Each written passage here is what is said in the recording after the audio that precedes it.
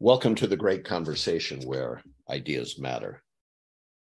Ideas can shape markets, and ideas can change the world. I am fascinated with our, as you all know, with our personal, professional, and corporate, that is, community path to value. Um, it's not easy. There's so many factors that are at play and at stake in constructing a valuable life, a valuable business, a valuable community. And value is not elusive.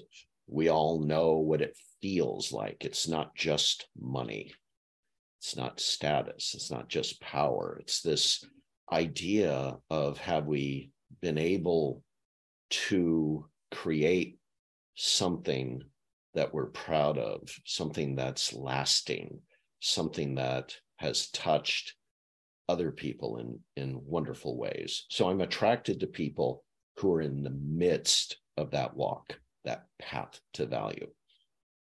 One of the one of the things that I've seen many CEOs since I coach a lot of CEOs and I advise a lot of CEOs, seen them do is um, have check marks for various regulatory and compliance things. Very useful. Check marks are useful. Tasks are useful. But I always make them pause before I have them check it off and pause, say, is there something more going on here than simply a check mark? Is there something going on here that would make you more strategic, more competitive, and more valuable? And one of one of the things I'm tracking is this um, this thing called DEI, or diversity, equity, and inclusion. And I've been reading a lot of thought leaders on the subject, and people touch on it in different ways. By the way, there's uh, organizational consultants. Um, there's consultants who are interested in change management. Uh, there's uh, people who are looking at it from uh, just a social equity standpoint, and also others that are leveraging it from a human capital standpoint. And the other day, uh, in my pursuit of ideas, I ran across Dr. Jade Singleton. And I asked her to be on this podcast, and I just can't wait to have a, a great conversation with Jade. Jade, welcome. I'm so, so thrilled to be here. Thank you so much for having me. It is an absolute honor. And, and those of you listening, you'll see why in a second. So, Jade, have, let's have some fun first. Okay. And because uh, it's unbelievable the historical context by which you're even here. Tell, tell, tell everyone your your historical roots here, your ancestral roots. It's just amazing. Yeah, yeah. So, um, I yeah. So, I, you know, I think we're talking a little bit about Sarah Jane Academy, which is is my um, my program here for um, for DEI practitioners, um, being named Sarah Jane. So, my aunt was actually the first Black woman uh, in the United States to be a professor. Her name was uh, Sarah Jane Woodson. Um, and you know, the family has a long history of pushing equity and inclusion um, over the years and years. And um, we come from a Jefferson Hemings background, um, for, for those of you uh, that are aware. And so these kind of difficult conversations, right, that come up in DEI are really a part of our, our fabric uh, ever since I can remember. Well, uh, uh you know, you slid over that pretty quick, and people necessarily grasp that tell us Jefferson Heming connection. What what who is that? What are you talking about? Yeah.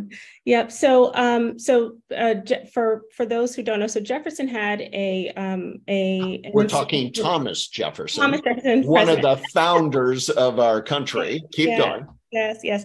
He um, he had an enslaved um, woman by the name of uh, of Sally Hemings, with whom he had uh, multiple children um, by Uh, and so, you know, these these children went off into the world and and uh, did a multitude of of, uh, of different things. And my, um, you know, direct line really focused on um, education a lot. So there was a lot of history around.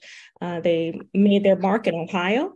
Um, and set up a you know a kind of homestead in uh, an area called Bailey's Crossroads, and really focused on you know making sure that uh, that Black people had access. Uh, it's really interesting. Some of them were operators on the Underground Railroad.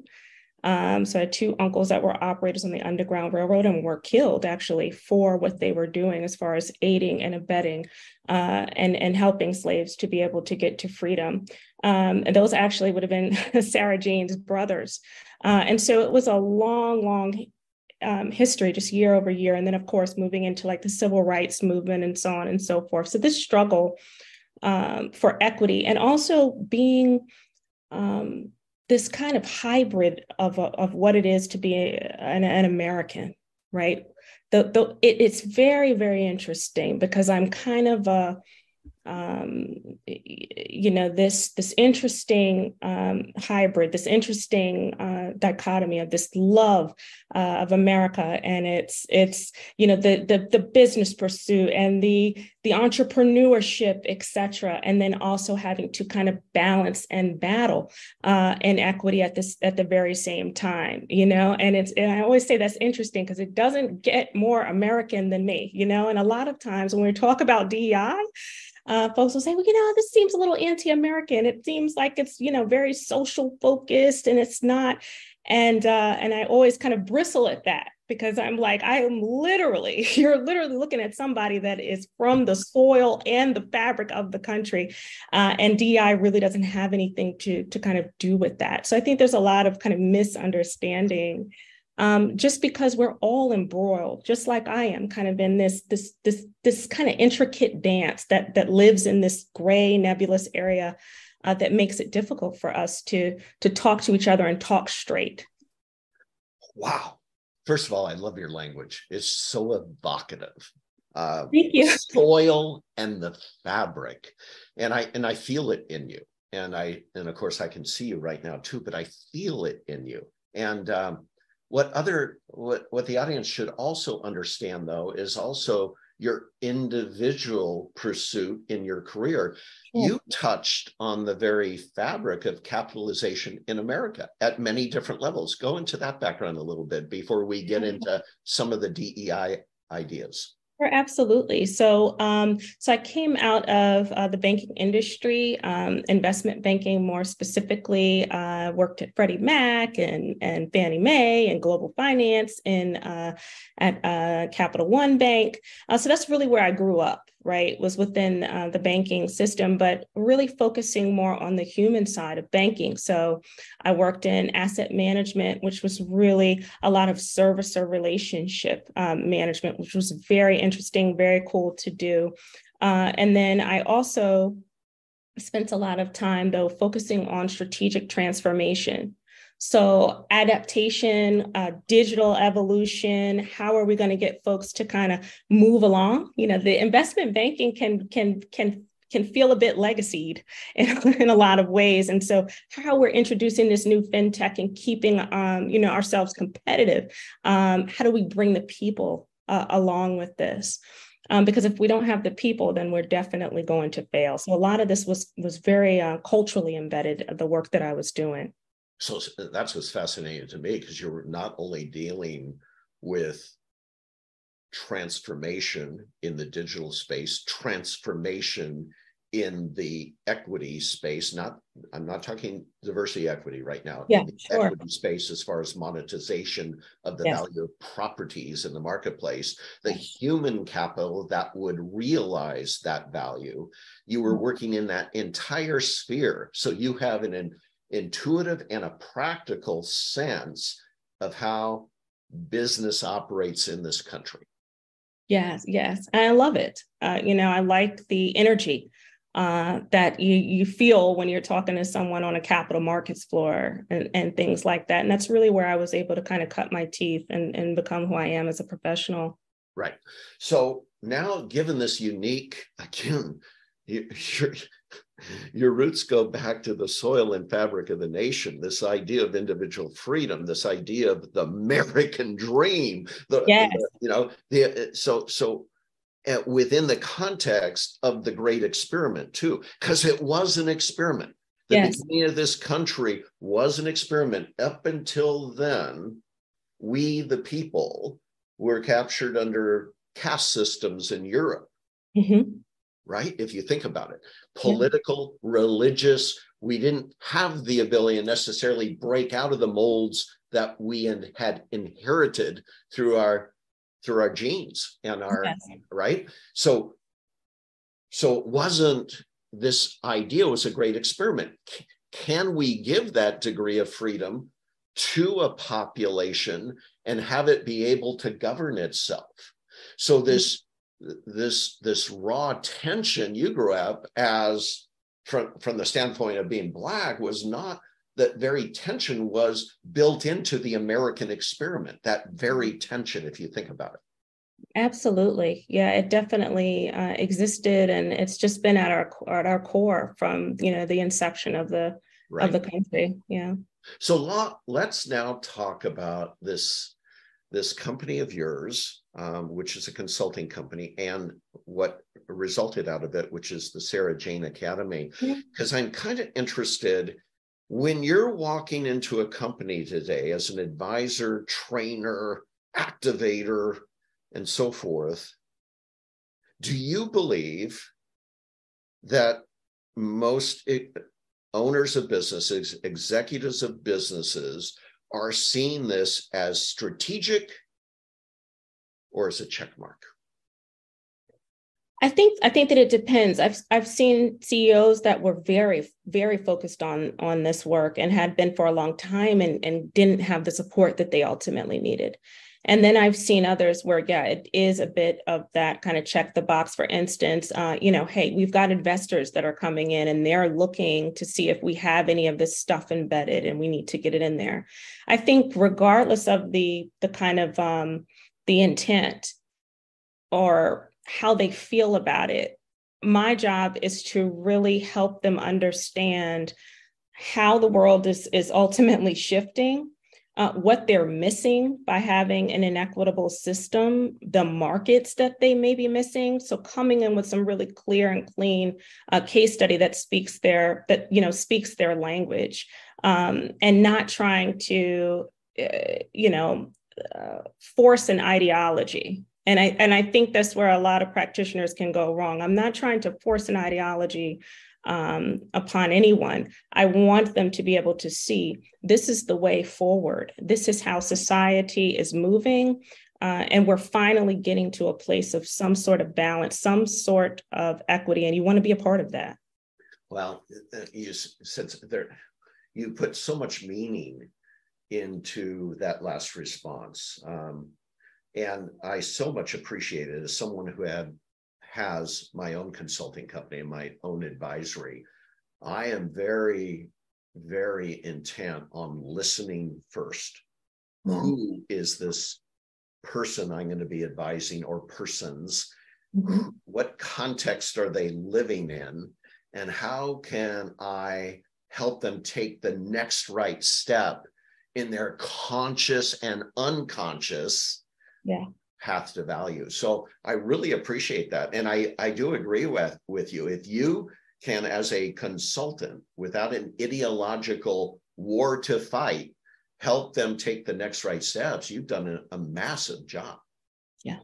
Yeah. That's that's interesting. Take me through if I brought you in today, take sure. me through the process that would help me achieve that kind of strategic impact on my company? Absolutely. So, the first thing that you would want to do, or I would want to do coming in as a consultant, is do a diagnosis. And so, um, the first thing that I'm going to be looking at is I want to know where your cohort demographics exist within your organization. For instance, I want to know not just kind of where your majority Black population sit within the organization, I want to know the Black, female, um, where a black female lesbian sits within your organization. I mean, I want to drill down into intersections. And the reason why I want to do that is because I want to see how these different demographics uh, have or don't have access to decision making. Um, and I want to see kind of if there's anything that might be clogging your pipeline, your internal mobility pipeline. And I'm going to pause there and just explain a little bit about why that would be the first thing that I would want to look at. The reason why that's the first thing I want to look at is because for all the wonderful business cases that we all know about, you know, the more diverse your team is, the better your bottom line, et cetera, et cetera. That only matters if the team is diverse that is making the decisions. So, your managerial level, you're not going to see any ROI if you're just diversifying at the lower levels, right? So, the first thing that I need to do is kind of take a look and diagnose where are your folks? I want to see who's coming in, who's, and I want to see who may be stuck. And then I want to have a conversation about that. I also want to look at pay. I want to see what folks are being paid. I want to see who's being promoted uh, as well. And what are those processes? Uh, how do they look? And then who has access to some of the internal mobility that um, that exists within the organization. So, for instance, I want to know, um, you know, let's say the most coveted skill set in your company is the problem solving. You you know, you people who can solve a problem get the biggest reward at your at your company. Fantastic. Does everyone have access to problem solving specific training like A3 thinking, etc.? Or are there people that are being kind of left out for whatever reason that aren't getting the informal tap on the shoulder to, you know, opportunity? And how can we bridge those gaps? So that would ultimately be the first thing that I would do and where I would be able to help uh, the most kind of right away. Uh, and that's interesting when you do the assessment there. Um, nature versus nurture. Some people have these things innately. Yes. And therefore, when they go through training, they accelerate through pretty quickly and adapt and are agile. How do you help them with the nature versus nature thing in the uh, nature versus nurture thing in the training, or even before that, if we want to get to root cause, how they identify and hire those people from the very beginning? Yeah. So so one of the things is that they have to get honest about what the culture actually is. Uh, not the boilerplate um, you know, terms that they have kind of underneath their logo. I want to know what your actual culture is so that I can have, you know, provide some really informed um, consulting. And so I, you know, once we're able to kind of excavate that and go through that, we're able to better identify uh, whether there's any biases uh, that might exist there. So let's say you have a, a culture where it's, you know, hey, we're, we we like to hire hard charging, uh, you know, bull in China shop, get uh, get it done type of individuals. Well, that's fantastic. But if someone from a different background, let's say, can a black man that's six foot four have that same type of continence? Seriously, like is he able to also kind of bang on the table and get so it's it's it's about understanding what's beneath the surface and how it applies to each of these different cohort demographics that's the that's that's the gray area where a lot of folks miss um, can i actually exercise what's going to get me uh, to the next level within the organization or accepted and adopted within the organization? Or do I have to learn a whole different pantomime uh, based on my identity? That is so profound. And uh, actually, it was featured on one of your blog posts or your, your LinkedIn posts, right? And that is if you have this culture of go get them, hard charging, speak the truth at all times, and and that's great. But if a six four black man does that, is it accepted the same way as a white man?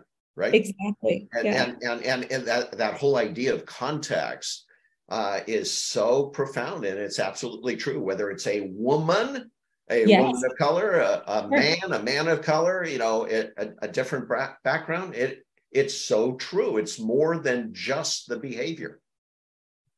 Exactly. Yeah. And so you see folks, there's some something called uh, attributional ambiguity. and you're trying to figure out um, if you're a person from a, that has a marginalized identity or multiple marginalized identities you're constantly trying to figure out like what's the right combination for me what is it that i need to be doing or how what's the behavior for me? I hear what they're saying but what's the actual behavior that i need to exhibit kind of given my identity to be able to survive and, and thrive within an organization? And that's can be incredibly difficult to excavate because we we don't have um, you know executive coaches that are very well trained in how you know these these things are very nuanced very very nuanced um, and so you miss out on some of that leadership development that's actually going to work for you so you're kind of left out there trying to figure it out on your own yeah i thought a lot about this when i was growing up as a kid uh, one of my favorite teams was the Dodgers, and I was a history buff on baseball. And the uh, and the story of Branch Rickey, uh, Rickey, and uh, and uh, and Jackie Robinson. You know, the whole idea that I'm going to bring you into a place that most people would fail. Yeah. And and Branch Rickey saying, and the only way you have a chance of success is not to play into their ideas of who you are. Right. And, and and he asked and he asked him to be quiet at first to navigate the halls. And I was thinking about that in today's DEI environment. When you go to a coach, you coach the organization. You not only have to coach the executives, you have to coach how these people are advised coming in, all from rich cultural and demographic backgrounds, mm-hmm. how they navigate the halls of power as the culture adapts and begins to change itself. You, you have to teach both ends of the spectrum. Right. Right, absolutely. And you know what we're finding and, and the research is consistently evolving. What we've learned a lot of is is kind of cultural competence based models where you know the culture it has these kind of um, you know everlasting truths about it right but what we're we're finding is that was the absolute wrong way to go about so much of our training and how we think um, and how we should be inclusive right so cultural humility cultural pluralism understanding you know these things are fluid these things change they shift they adopt. How do you equip someone uh, to show up in a space where they can actually be allies and and, and advocates um, for someone who might be from you know an underrepresented uh, group versus you know just kind of this theoretical nicety uh, type of thing that we've had for years with kind of a cultural competency based um, based model. Yeah. Uh, we're not going to have time to go through your whole process but let me touch on something you did say. You suggested that if you did get this right, if you got on that path to value where you started thinking of DEI as not a checklist, but actually of strategic value to the organization, if you can get them on that journey, what are uh, what are what are what are the findings we have on that today? Bring that home for a second. That strategic value. Be, yeah. not just the human value. Sure. I, I get that one, but what's the strategic yep. value to the company? Absolutely. So um, Google did a really a profound study called Project Aristotle. Um, some of your listeners may be very familiar with it already, but basically, what they found, they tested about 200 teams and they wanted to see, they mixed and mashed them all together. So, people that had really cool skills, people who, who were, you know, more tenured with people that weren't. I mean, they, they did the whole gamut. And what they found was that psychological safety, which is a key factor in uh, inclusion produced uh, teams with higher levels of psychological safety outperformed consistently. And so, what I mean by psychological safety is that you have things like, um, you know, there's phases of it. You have your um, safety to belong, so you're safe to feel a part of the group. You have safety to um, to contribute to the team and you have safety to learn and then ultimately you have safety to challenge okay and that's where you're going to start to see things like um, uh, uh, better speed to market You're going to have better uh, risk mitigation. Um, people are going to raise their hands more quickly and say, "Hey, I identify a risk here," or "I identify a better market here," et cetera. They're not going to be afraid to to try things. Um, when you have higher levels of psychological safety, you're going to get to faster innovation. Um, and, you know, all things that businesses really do care about to keep themselves viable and keep themselves competitive. Uh, and when you're talking about a diverse um, population of folks, psychological safety is is so very critical because as i mentioned with that attributional ambiguity your folks that are from underrepresented populations we are constantly scanning the environment to determine whether or not this is a safe environment in which to challenge in which to belong to in which to learn from right? So to me that's the the biggest um, and best um, you know uh, ROI that you could you could have is being in an environment that's psychologically safe, that's actually realizing true inclusion. And some of the uh, most outstanding advisors of business, you all know them from Drucker to Porter to Lencioni, five dysfunctions of a team, all touch on this psychological safety. Now we're getting more formalized and more direct and more strategic in how we implement them. And it's because of advisors uh, like Dr. Jade Singleton. Um, Jade, if I wanted uh, uh, to have a link in the blog of this podcast to your process, or at least to access to that process, where would they go? Well, definitely you can find me on LinkedIn. I'm always there hanging around. Um, and also you can check me out at the sarahjaneacademy.org uh, as well, where you know you'll be able to see some of our materials there. This has been a great conversation, Jade. Thank you so much. Thank you so much for having me. It's been a pleasure. Chat soon.